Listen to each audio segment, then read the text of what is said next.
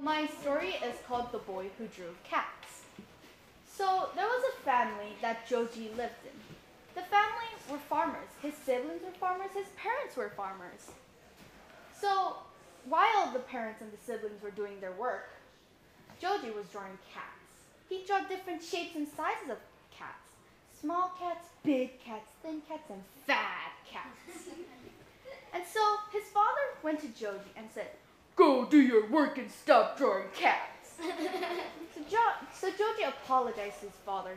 Sorry, father, I'll go do my chores right now. So he started his work, but he drew cats again. A cat passed by, so he drew cats. So the wife looked at her son, Joji, and said to the father, He will never be a farmer. So the father took Joji to a temple and told the priest to make him a priest. So the priest went, I'd happily teach your son. So the first class was writing. So they had paper, ink, and a brush. While the other students were writing and doing their work, he drew cats. He drew small cats, big cats, thin cats, and fat cats. so the priest told him, stop drawing cats and do your work. So he apologized and started his work. But the next day, when, pre- when the priest went to the temple, he saw cats all over the wall.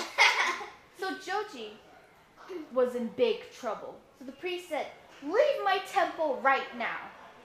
So Joji left. He was upset and sad, and he was sure that his father would get really mad. So he decided to go to a little village. He saw a temple.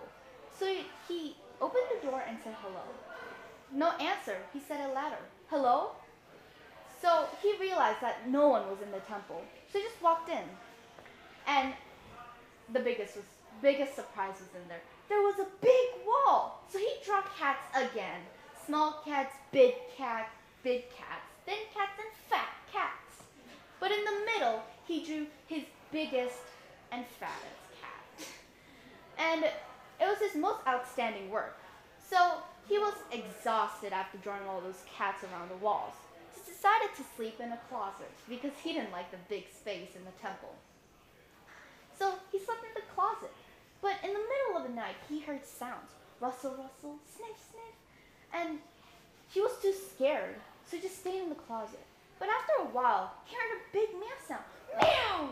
There was pounding sound, punching sounds, and meowing sounds. And soon he waited next morning, and it was daylight. So he opened the closet, and he saw a big rat dead on the floor. Rat? A rat, yeah. And so he saw the his outstanding big cat on the wall, and realized it was facing the other way.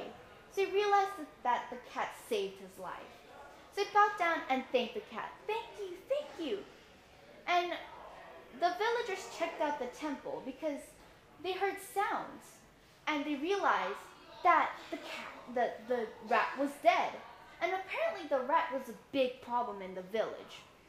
So Joji became a hero to the vil- village and everyone praised him.